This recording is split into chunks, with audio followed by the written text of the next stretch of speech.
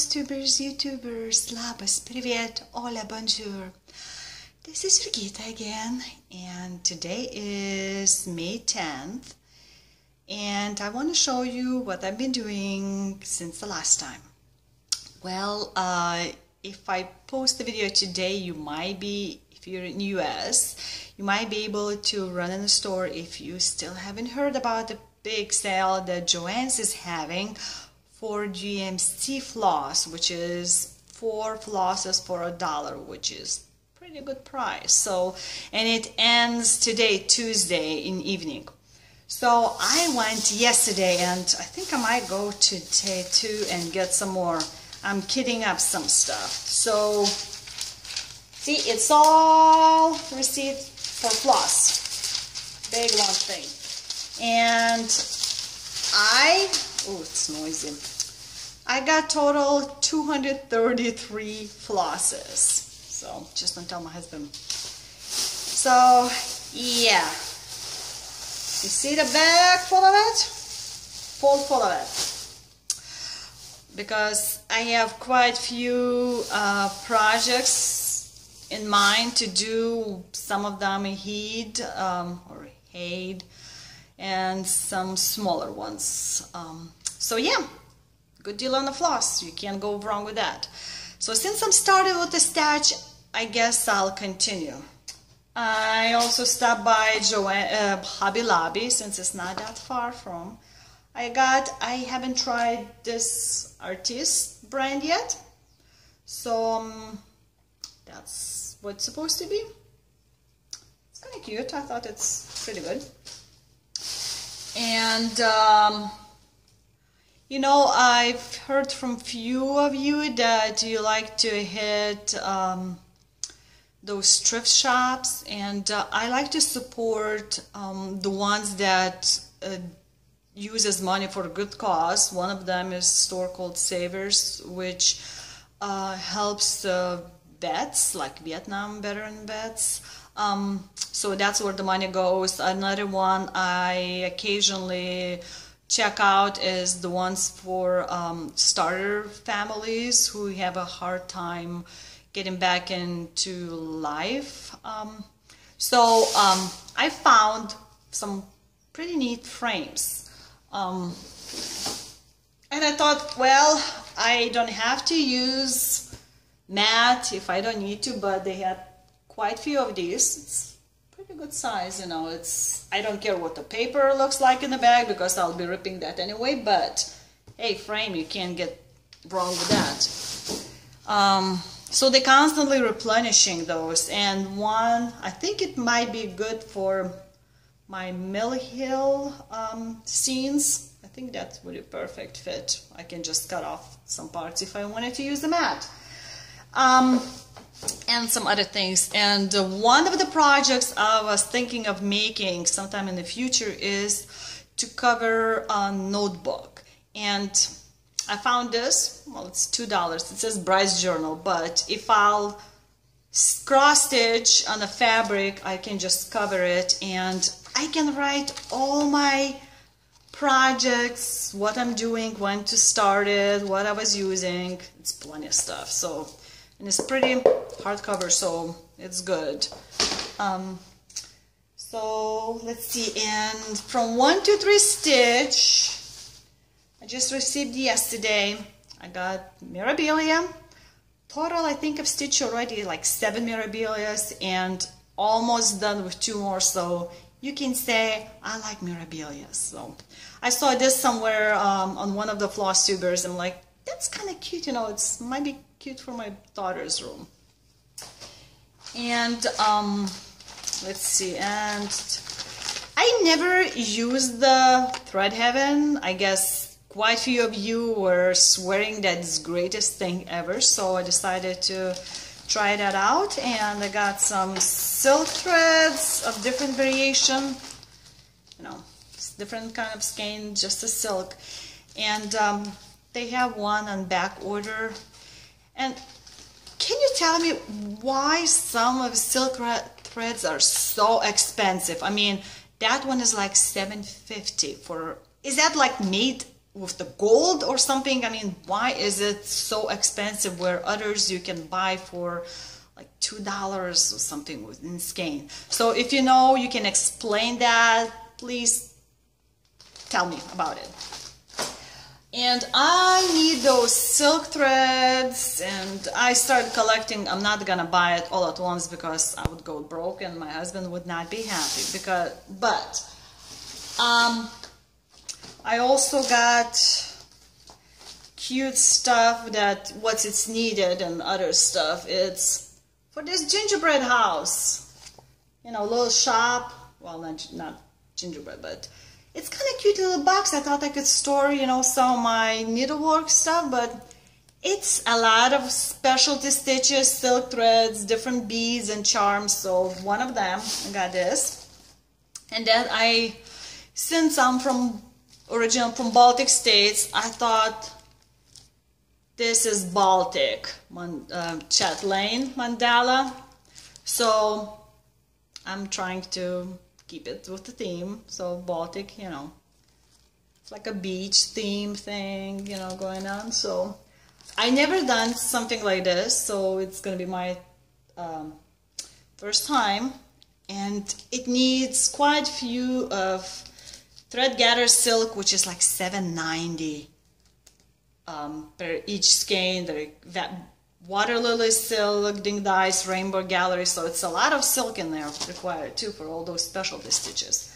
So I'm curious to, to make it. And um, another one um, with specialty stitches is gonna be this um, nativity sampler, Victoria, Victorian sampler.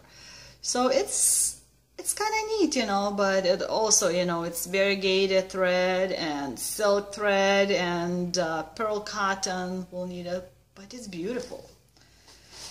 So let's see, those are my big purchases.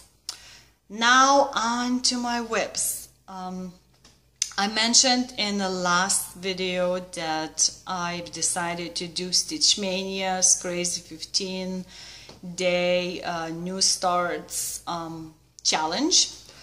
And in the same time I've decided to do heat head challenge uh, uh, 2 which I need to finish by the end of this month because I'm taking trip overseas to see my family.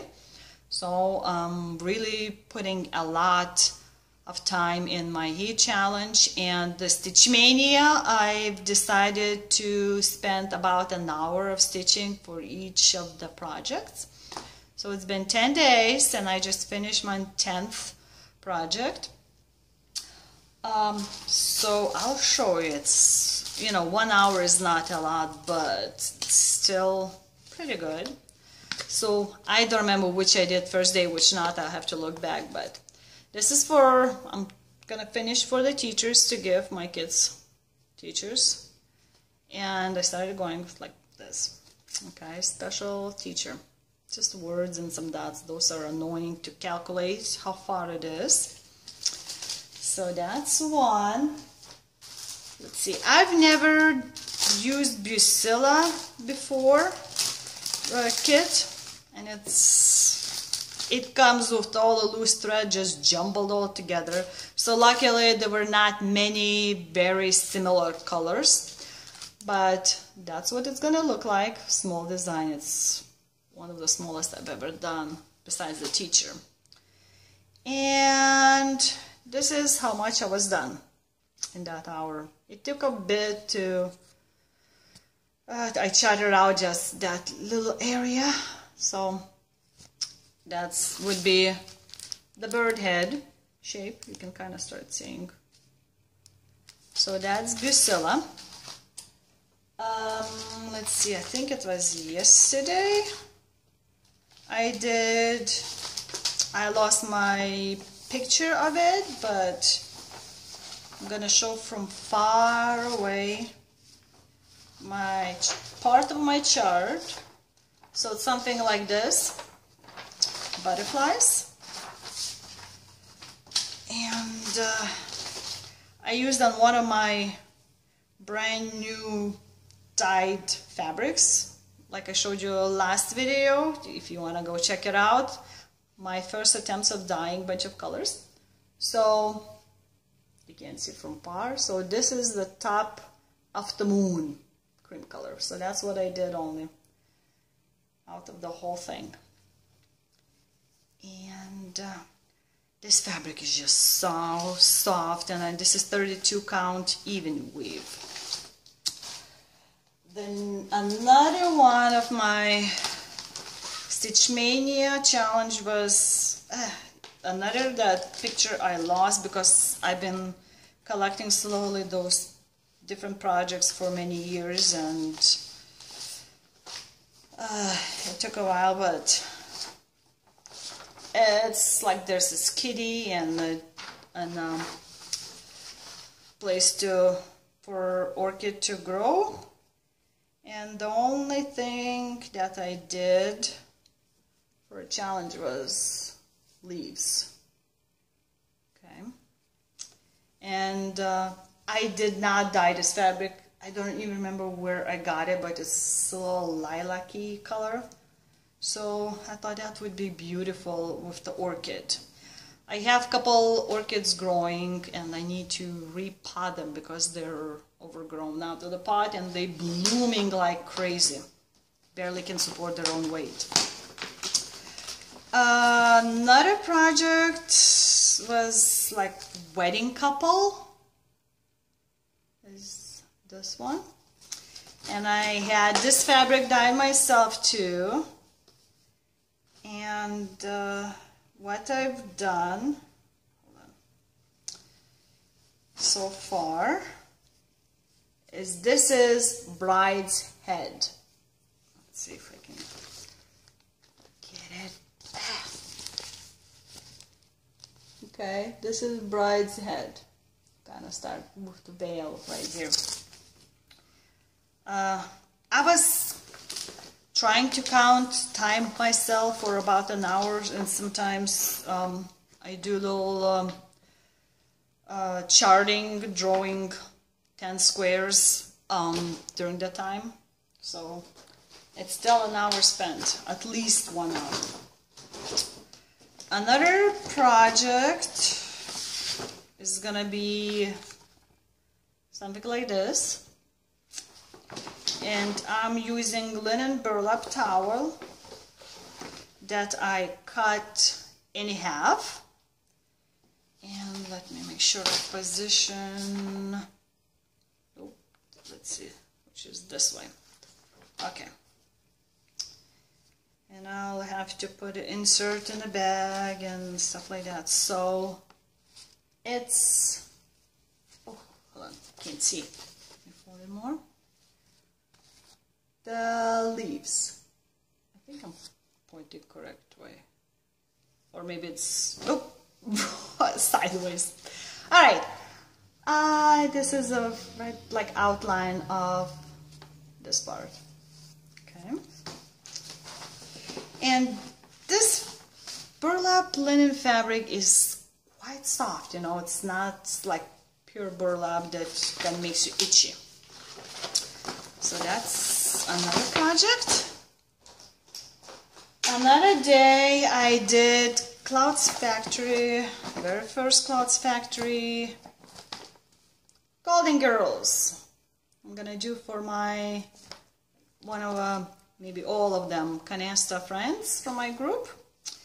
And I started doing Sophia. See the red one and I can probably say I dyed this fabric too myself. It's although it's 14 count Aida. It's stiff one, but I had the fabric and I thought if I do on a smaller size, it might look way too small. Because right now it's 2.4 inches tall on the whole design. So that's that. Look, this way. I spent a little bit of time on that.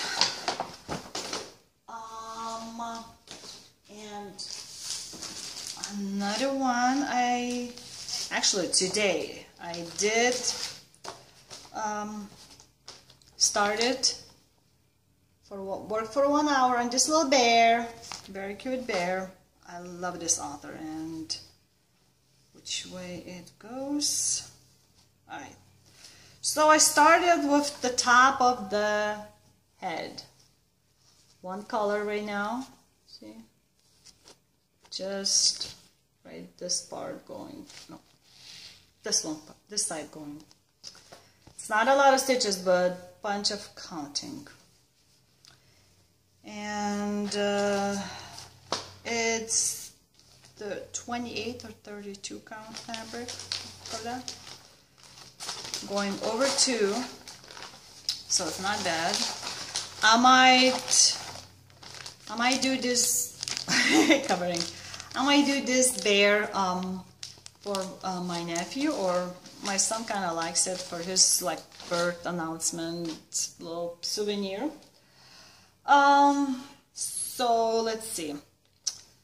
I'm planning to finish one of my Stitch Maynia uh, 15 day challenge um, was to finish up this one. I had last time done design, but um, I started working on the numbers and took a while to figure out what size letters and what style letters I wanted to do and different type of numbers. So I've been, um, I pull out my graph paper and uh, started drawing on that the way I wanted.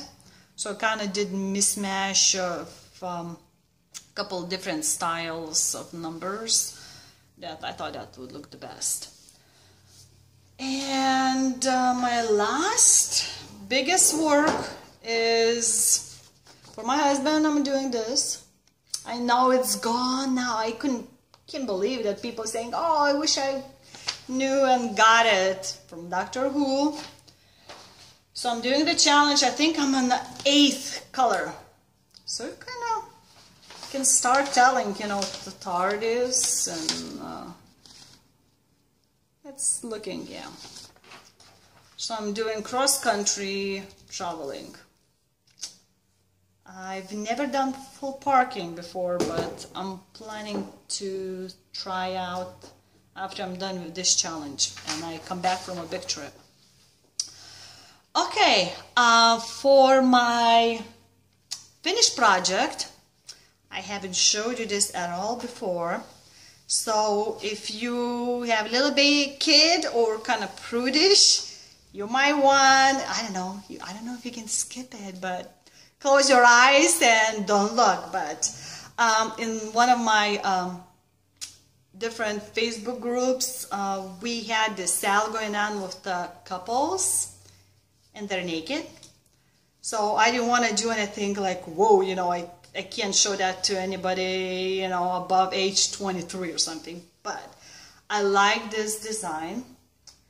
And this is what I made it's I thought that was very artistically done, you know, picture and design that just shows passion and love and all kinds of, you know, emotions that's not necessarily, you know, like bad, bad, you know. So I finished this and I'm trying to figure out the frame to put it on this, but I loved it. It's just it shows such a strong emotion you know. It's like such a big hug that they like they never would let go of each other. You know it's pure. So that was my finish. Um, okay and um, I thought about trying out and doing the tag. And um, how better way which way is better to know uh, each other if not to start off with the know your needle worker tag which was posted uh, one year one and a half year ago by Whimsy Daisical. Okay so first question where do you live I'm reading questions off the side I've mentioned before I live in pretty much middle of USA um, by St. Louis, Missouri, but I'm on the Illinois side. So if if somebody asks, you know, oh, you're from Illinois, you know, so you know, can we just hop in the car and go to Chicago? Chicago is like five, six hours away from us. So we're literally like half hour and I'm in St. Louis, across the river, St. Louis, downtown, where the big arch is. Sometimes in the movies you can see big arch by the riverside. So this is where I live. It's a pretty small town, um, but we're like living right dead smack in intersection of different towns. Like I, um, we pay taxes in our town, you know, name, but my uh, our kids are in a different town school district, and our post office in another town area. So it's like three different things, and practically across the street is already fourth town um, line. So it's it's always like in this last house we lived. It was literally uh, used to be in one town's um, area, and now we're another. So it's again like, and we like to live on the border. um, and I came from a country called Lithuania, Eastern Europe, by the Baltic Sea. Uh, the one that started USSR breakup. So if you wanted to polish your history. Second question, what do you do for a living? I'm stay-at-home mom and um, since they all started full-time school this year, I'm planning to start looking for a paying job in this fall, hopefully. Because you can, you know, you can go nuts uh, just staying home and doing same thing over and over and not uh, interacting with real life people besides like your kids after school or throughout the whole day. And your if you're not careful i think your um, iq level is just keeps going down down to whatever age is your kid. So you really have to find some ways to entertain yourself and your brain. But um, technically I signed up because I started loving those products and I'm um, company called Stampin' Up. Uh, I'm a demonstrator. And what I started liking about it once um, I've tried out is I liked how their paper is dyed all the way through. You know, you go in um, regular stores to buy any size 12 by 12 or smaller paper. And if it looks solid color you rip it or you cut it and there's still like white color inside. And Stampin' Up is color all the way through. And they have a lot of matching uh, items of the same color like uh, you know ribbons ink paper uh, any attachments like uh, uh, beads and uh, sequins all kinds of stuff. So I love it.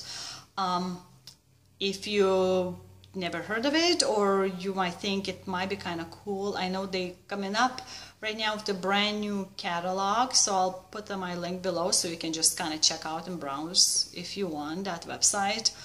Um, what i liked also about that company that um, it started as like a living room company with the um, american made stamps um, by like two sisters, and one of them was CEO, and she's passing this year uh, fully um, her position to her daughter.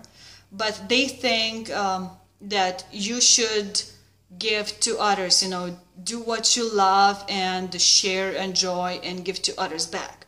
So they're um, very into it that, you know, help out and uh, give back to not only their own Stampin' Up people and demonstrators and uh, customers, but to the community. They do a lot of humanitarian stuff too.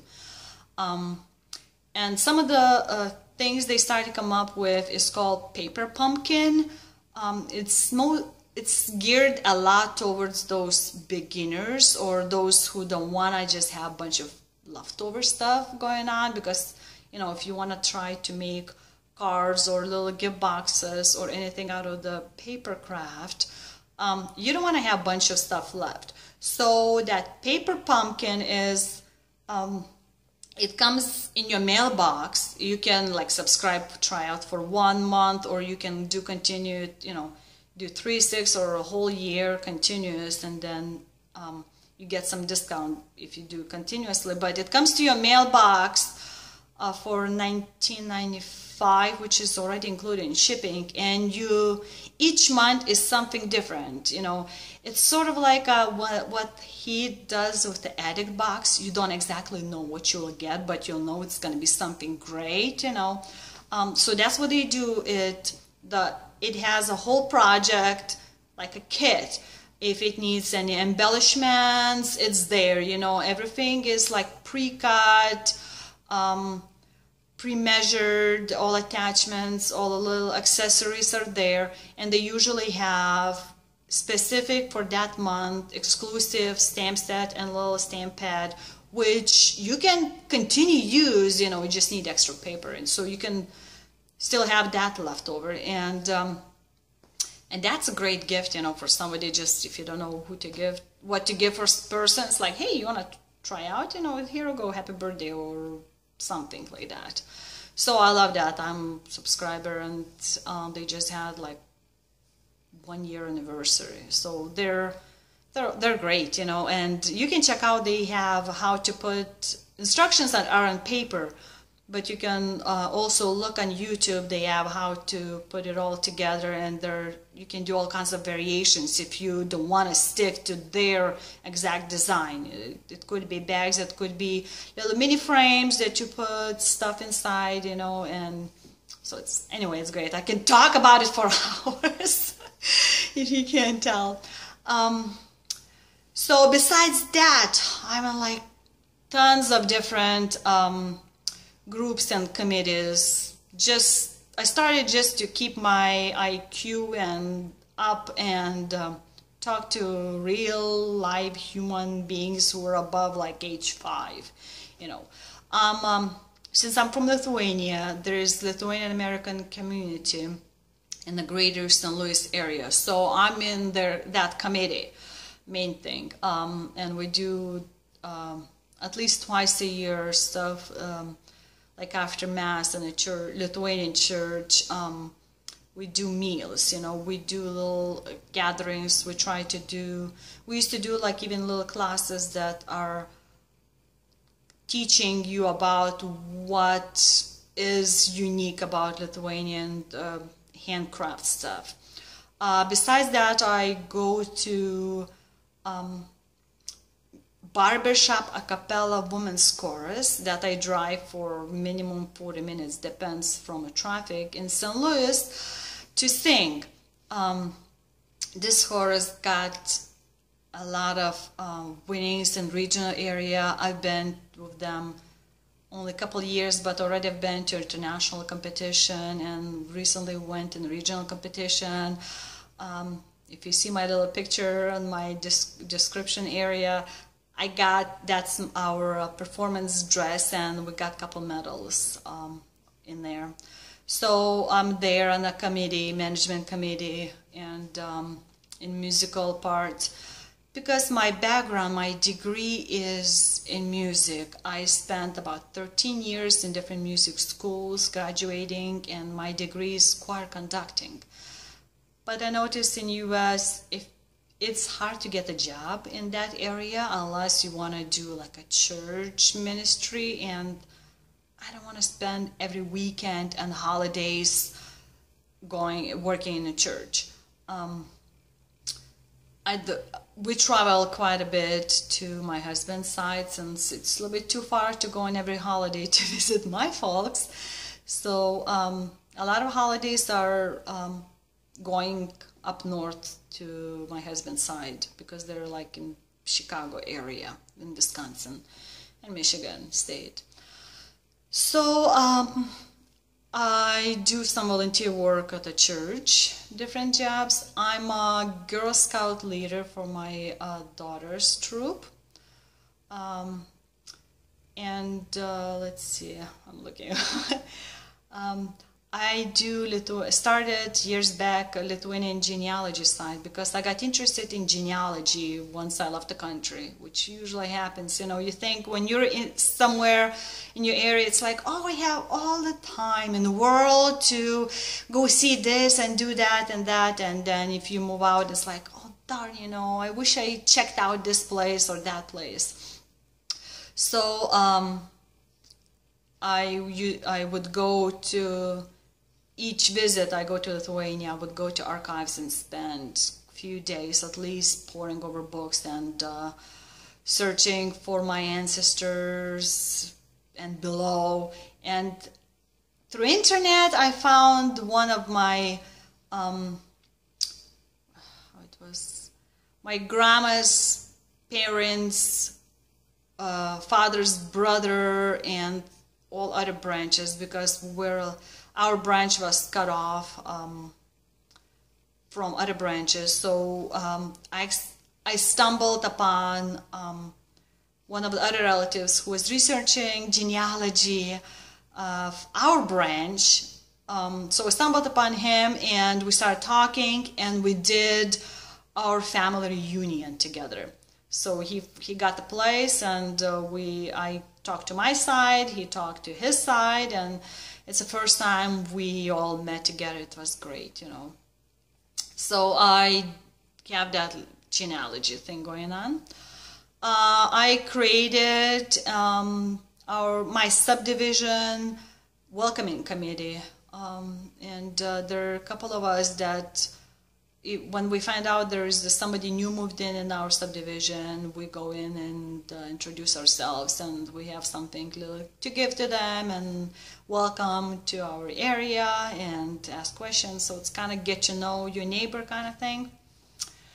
Uh, I help out occasionally in schools, uh, like I just recently went with one of my kids um, field trips in the farm and I'm gonna go to it's called Biztown where we spend a whole school day pretending like we're in a real world job so kids get a little taste of that um, so that's what I do for a living right besides stitching and uh, taking care of a big house and big yard and we still have old house that we're um, straightening out for sale third question do you have any children? Yes, I do. Three of them. And all three are in different schools right now, this year at least, for a couple more years. One is a freshman in a high school, another one is first year in the middle school, and they I have a kindergartner, so three different schools. And all three of them have extracurriculum activities all three of them are in the Scouts, Boy Scouts, um, and the Girl Scouts, and their meetings are in the same time in three different locations, practically three different towns. So it's fun to juggle, juggle this up. Um, uh, let's see. Do you have any pets?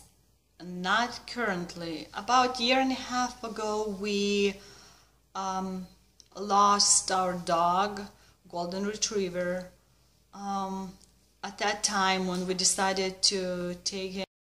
All right, my recording cut off, me, cut me off because it's maximum time.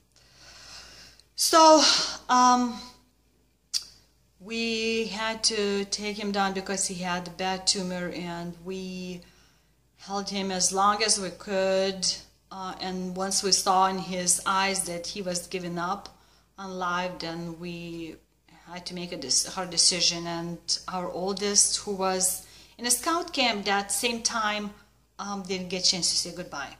But we didn't want to destroy his happy camping time with the bad news until he came home. So, and we had golden retriever before that time. You know, funny thing is how people say, you know, oh, you know, dogs have like a sixth sense. Uh, if you feel bad, then they'll know it, you know, they'll comfort you. That was true of the first dog. With this dog's uh, shadow, no way. Um, you probably could be bleeding to death on the floor. he would still want to just you get up and play with him. Um, while playing and energetic was the reason why we picked him from a whole litter. Uh, we had our son um, when he was about nine months old or ten. We brought him in a puppy litter and we sat him on the floor and we let all those puppies run around him and we saw how, which one would interact with him more. So he that puppy was the one that was kept jumping on him and trying to bite his ear. So we thought, oh, you know, great companion to kids, you know, energetic, playful. He stayed like that for all of, old he was, almost 13 years. So never lost that enthusiasm, that dog. You know, he would sleep and when he get older a little bit more, but he was always tail wagging, you know, play with me, throw the ball and stuff like that, dog. So our kids begging for a new pet, but um, with our overseas traveling, um, it's kind of hard to leave him here for that long. So in the future, we'll look it up. Okay, number five. What are your other hobbies besides stitching? Too many to have enough time, you know, in the world to concentrate on each. Um, besides cross stitching, you know, I do the paper crafting with Stampin' Up. I sing in the, that chorus. I like to make desserts, like uh, to decorate uh, different style and type cookies. I finished all um, Wilton cake decorating classes, so I do cakes occasionally, different styles. Um, I try to uh, make at least one brand new recipe. I have like one book that I specifically picked out and at least once a week I make something totally new from that and um, what I've decided to do, what I've been doing is with all the new recipes, after my family tastes it and eats it, they have to give um, how they like from 0 to 10. You know, 0 is the worst, the 10 is the best. So I gather up those numbers and then I come with the average number and I write it down in the book with a pencil. So this way, you know, I browse through the book, it's like, oh, you know, we've tried that before, really loved it, maybe we should try that again, you know, so, and that's what I'm trying to do with the food. I don't really like to cook, but having family, it's that's what you have to do you know I don't like to do a lot of takeouts and greasy food stuff um, like that I love to read um, but majority I'm still got, getting used to well got used to reading like a light reading light books in a contest context because I always been interrupted before with the kids so I guess it kind of got in my blood. And uh, so I really I'm, I am fast reader as it is so I practically swallow those books you know. Um, if I had to buy every book that I wanted to read I would have like two full rooms of books probably. So I just finished um, Sookie Stackhouse by Charlaine Harris uh, whole series you know um, if there is a books in a series and a new comes out I start reading from very first all the way to the new book, you know. Um, so I finished that and I'm gonna start on um, Anita Blake series. Author is uh, Laurell K. Hamilton. She's from St. Louis. And uh, character Anita is based in St. Louis, Missouri. Um, so if you like paranormal, you know, vampires, um, zombies, and uh, different creatures and she does a lot of in-depth um, work with the police the character um, the author really does a lot of research for that to get exactly so she does crime scenes um, and really goes into detail when solving those crimes it's it's kind of neat you know um, but if you're more prude you might not want to read her books because I think is that after third or fifth. There's many books. Um, she gets in the hot steamy scenes, which you know I kind of start running through it because I'm more interested in what's actually going on. Um, and uh, Anita Blake's series started way before Twilight Sparkle, way before, um, I think even Interview with the Vampire and uh, Sookie Stackhouse, True Blood, all of that, you know. So she's been writing those books, I think it might be like 25, and she's gonna publish next one in this fall. So she has been writing for years um, before it got very popular with all the vampire stuff. Um, let's see, what else do I like as a hobby? I know how to knit, so I've been doing some knitting. I've tried crochet and I've been gathering stuff to try out Irish crochet. I'm, um, I got interested in making natural homemade stuff, you know, like cleaners. I make my own laundry soap. Um, I replaced all my kitchen cleaners of uh, my own homemade, um, more organic, I guess, cleaner. I'm interested uh, starting doing gardening. Um, we had a garden before, but uh, we had to kind of plow over, put the dirt on top, so I'm remaking my garden area. I'm planning to put some fruit trees for kids.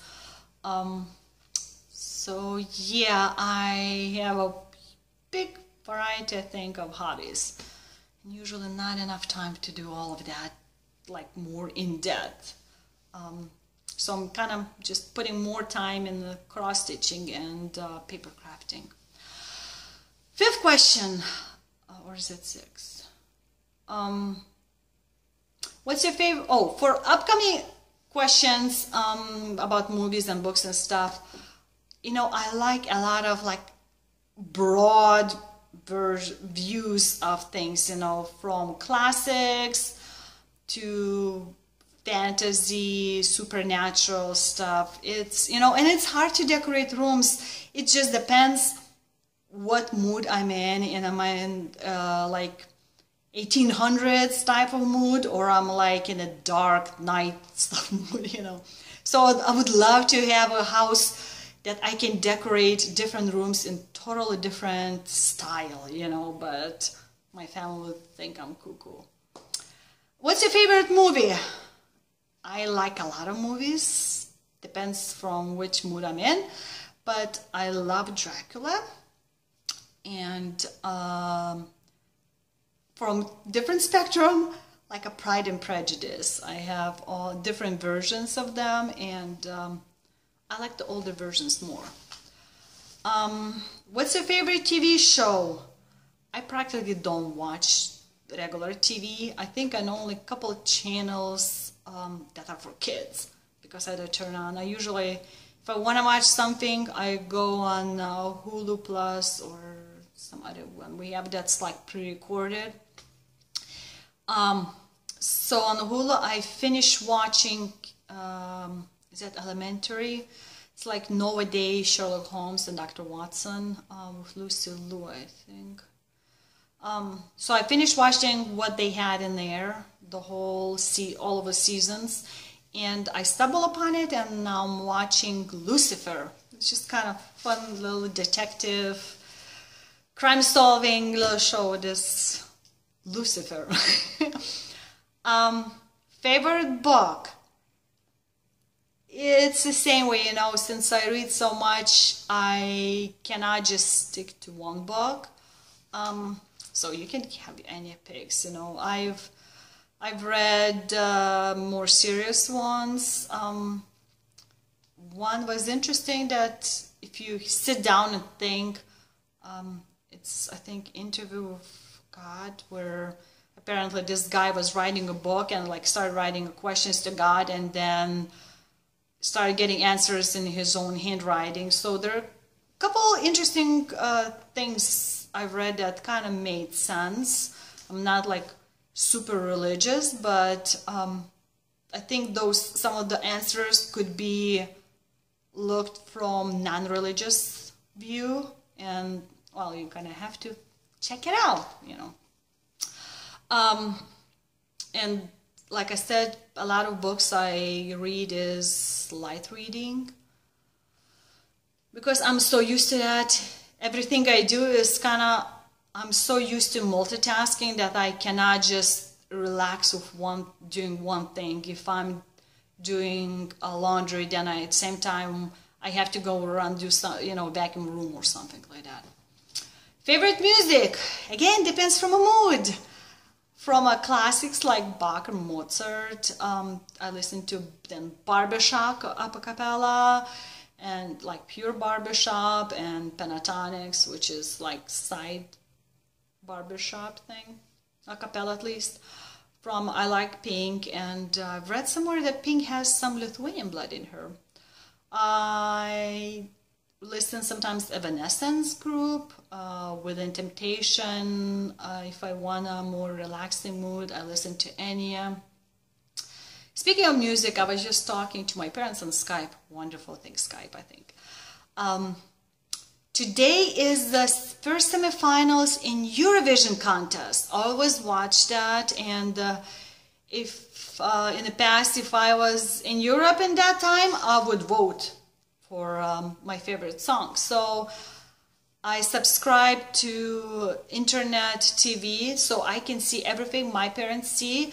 It's just I can see five weeks back. All the shows are recorded, so I have lots of channels that I want to check out. Um, so I'm gonna be watching Eurovision.